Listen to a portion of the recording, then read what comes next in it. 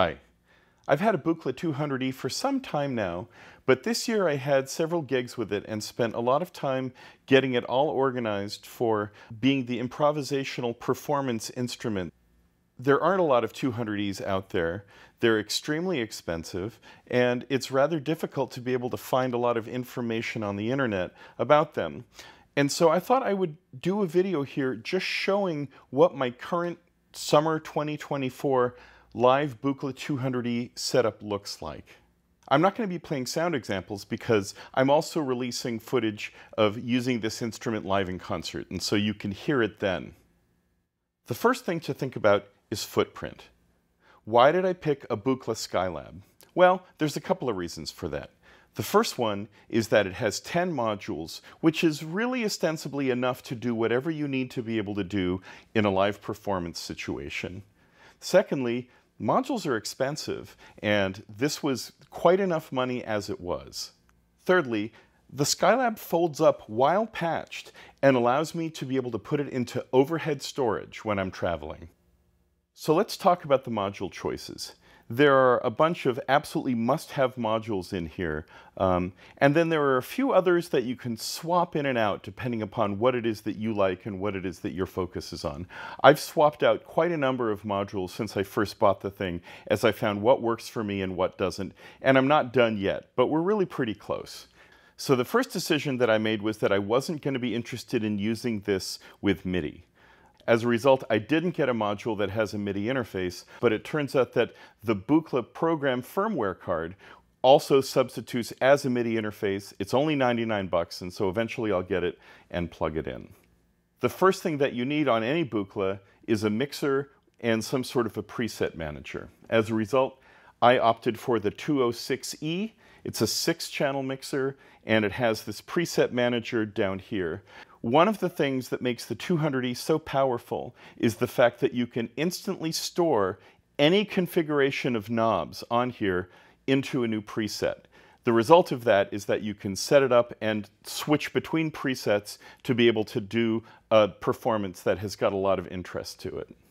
I can't think of any other modular system that allows you to be able to store the values of all of the modules within the preset manager for my latest piece with it, I have about 15 different presets that I'm able to go through during the course of a performance. Now, once you bring in a preset, you can certainly continue to tweak the knobs all you want. You can change things as far as you want to go with it, and then if you recall the preset, it instantly snaps everything back to the default position that you had the knobs in when you set the preset in the first place. The next two modules here are also absolute must-haves for any Buchla system, and they are responsible for allowing you to adjust the level and be able to get the signals from the system into the mixer itself. So the first one is the Quad Dynamics Manager, which is, in my case, the model 292E.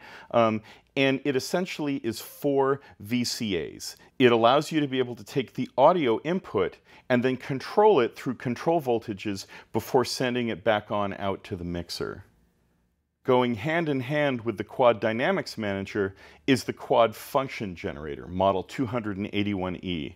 You absolutely have to have one of these things. And in its simplest way, it is four attack decay envelopes. However, you can use it in a number of different ways and configure it. So for example, you can set it up to be able to cycle back on itself, turning it into an LFO of sorts.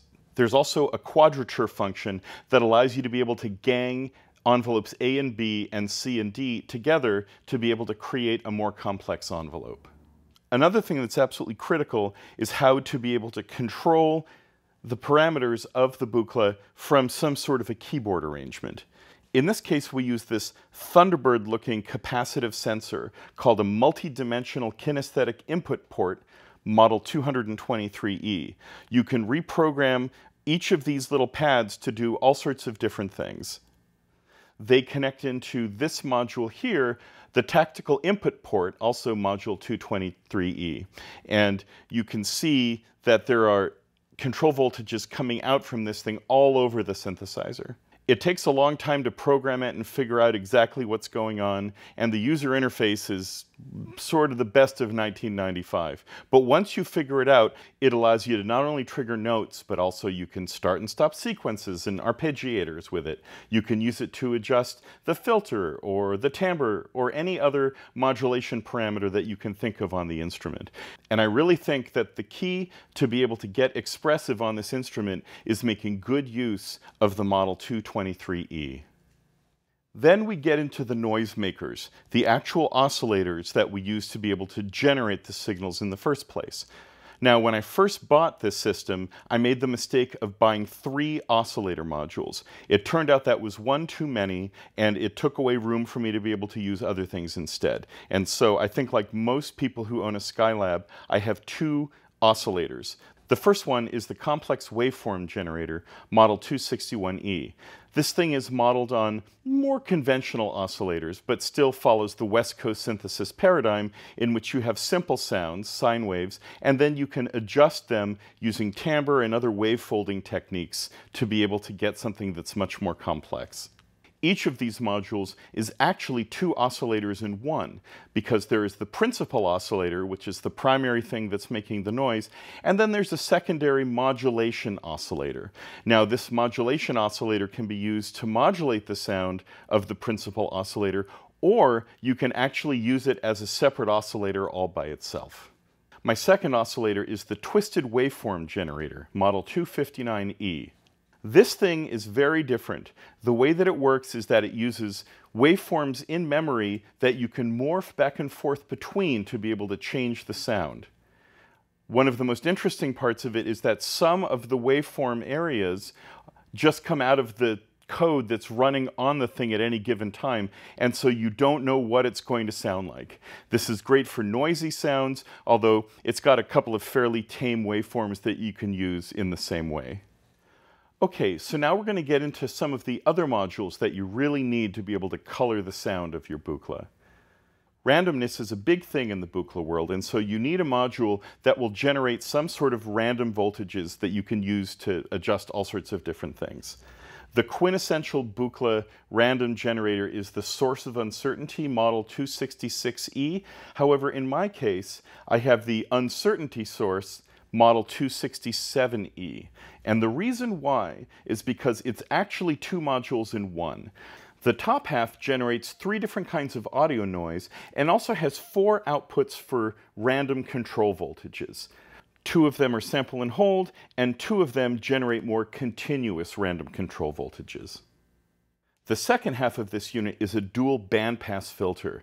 Now, Buchla wasn't that into traditional low-pass filters, but a bandpass filter in this case is really a very useful thing within the system. One of them I use to generate ocean or wave-like sounds by taking one of the white noise outputs, putting it in, and then adjusting the frequency with control voltages along the way. Next up, it's a pretty good idea to be able to have a sequencer within your system. Now, I had started with the Model 251E, which was a single space sequencer that had four separate sequences that you could program simultaneously. It's really powerful and it can do an, a lot of stuff, including generating polyrhythms. However, I found that it was too programmy for me. It took such a long time to be able to create the different steps within it that I was losing interest and didn't really like it. The result of that is that I swapped it out for this two panel unit, the 250. This system allows you to be able to adjust the voltages by using these knobs. There are two separate control voltages like you might use for pitch that you can use with the outer knobs. And then the inner set of knobs allows you to be able to adjust time values as it's moving from step to step. In addition, there are two separate pulses that you can set for each step as it goes along. And so if I'm using one set of control voltages to generate one type of ostinato, I could use the other set of control voltages and pulses to be able to generate a different kind of ostinato and have them be able to work with each other.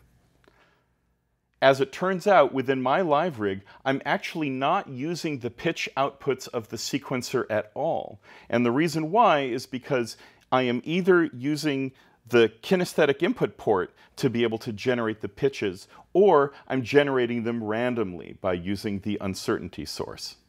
However, I am making heavy use of the pulse outputs to be able to generate different rhythms.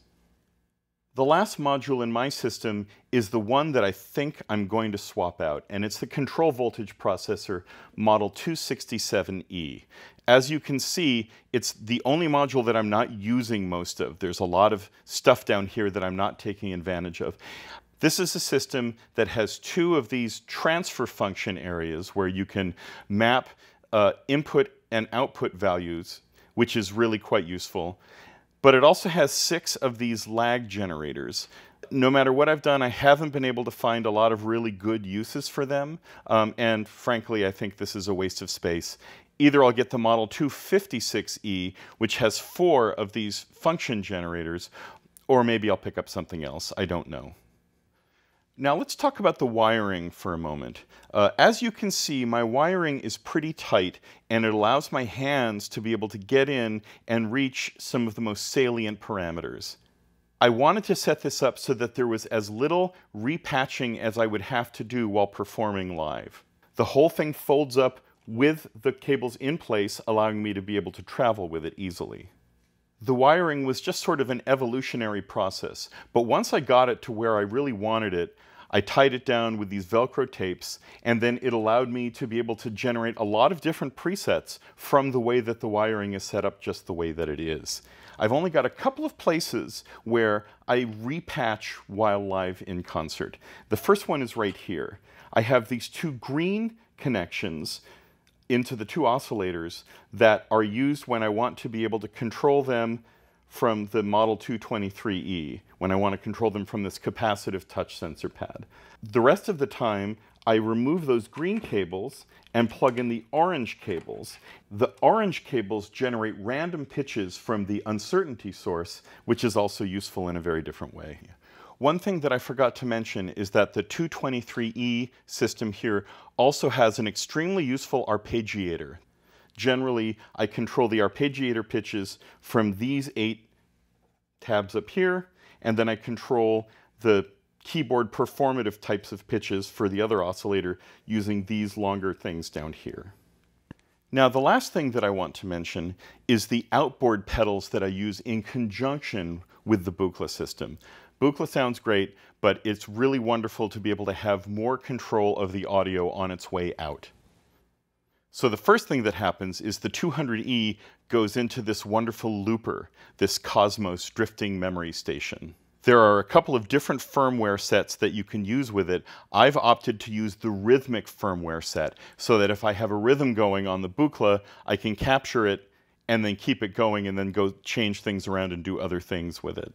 The Cosmos is very trippy. It's a uh, type of looper that you don't have all that much control over. You have some control, but you're really having sort of a dance with it rather than telling it exactly what to do. It sounds great, and I absolutely love it.